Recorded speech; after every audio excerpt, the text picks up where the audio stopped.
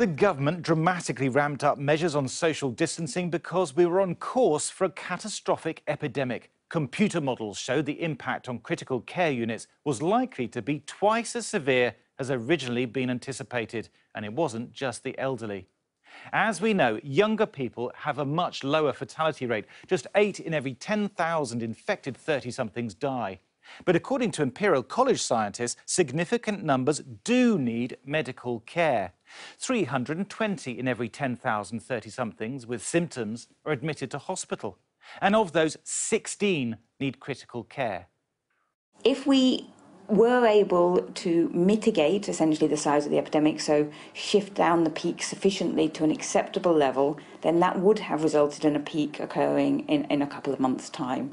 Um, it's clear to us now with the new information that's coming through, particularly around the severity of the disease and the requirements for intensive care units, that that's not really a feasible option and therefore we're trying to reduce transmission further um, and to very low levels.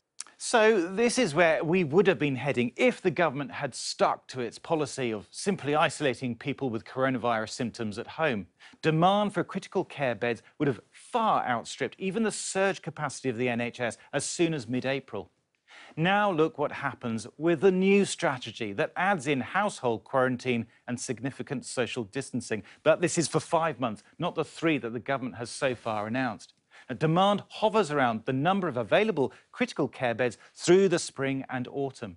But shortly after lifting the restrictions, cases rebound because so few people have been exposed to the virus and developed immunity.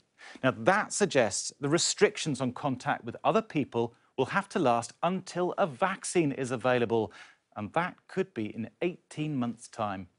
But perhaps there is a compromise. The social distancing could be throttled up and down depending on the pressure on the NHS.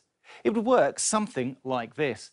Bring in strict social distancing and the demand for beds quickly drops. Ease the restrictions so people can resume normal life and the demand for hospital care would rise.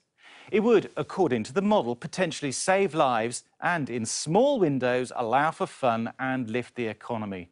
But no public health intervention with such disruptive effect on society has ever been attempted for so long. And the scientists warn it will only work if people make an enormous social sacrifice.